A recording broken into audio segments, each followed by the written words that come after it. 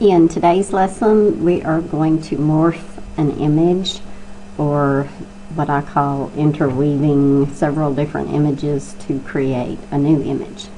So we're going to use Miss Piggy and Kermit the Frog.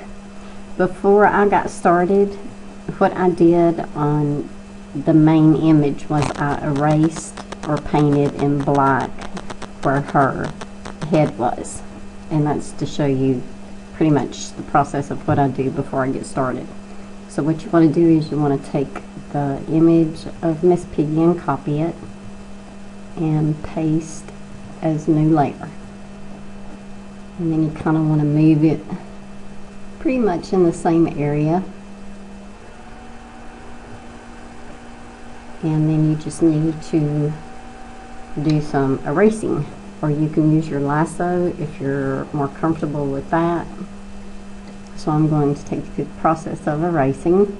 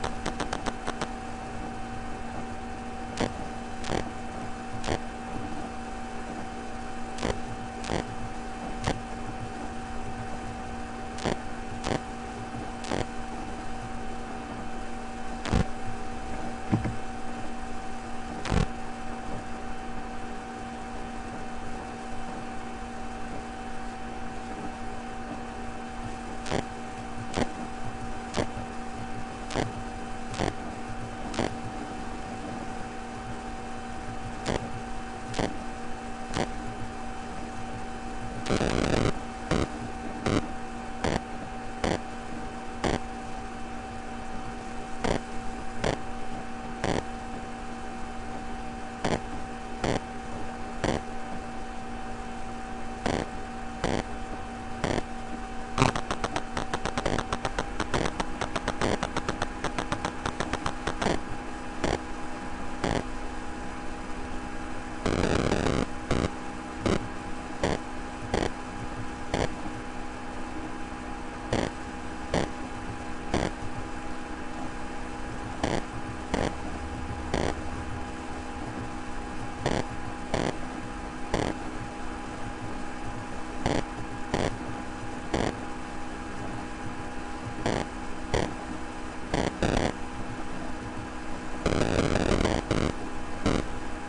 Once you get done erasing, just kind of move it.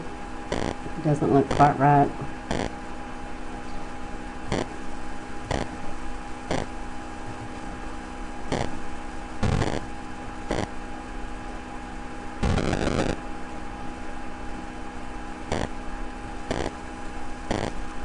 Okay, on this one, her head actually looks better if we mirror it.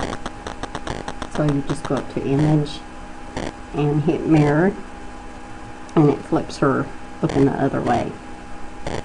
And do some more cleanup on your erasing.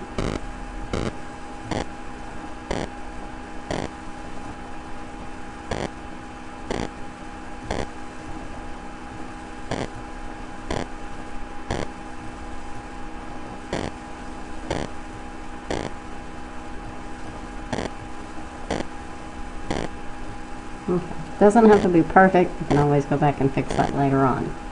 So once we get done with that, we want to go get Kermit and copy and paste as a new layer. And then we're going to move him down like he's sitting on the chair. Once you get him down there, go over to your layer and hit multiply. And you want to move him some more.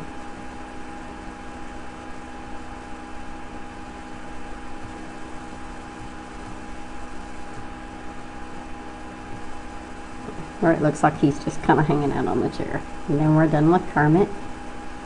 And then you want to go get your flower. And then, of course, copy, paste, this new layer. And then just move that where you want it.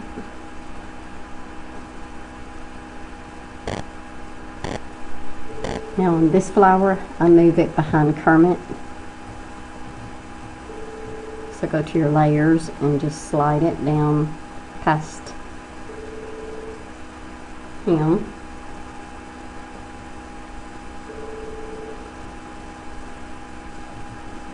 And then get your next flower, copy, and paste as new layer. And again, you just want to move that down at the bottom. And then pretty much you're done. We're just going to do some cleanup. So to do that, we want to merge all, flatten, and then go get your warp brush.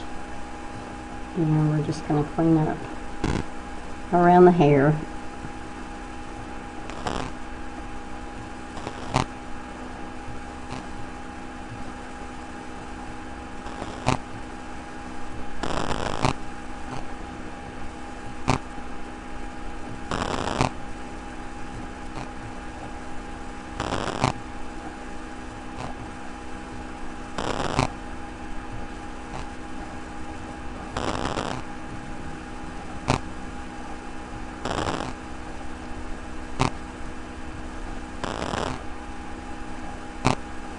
And that is it as far as morphing uh, the image.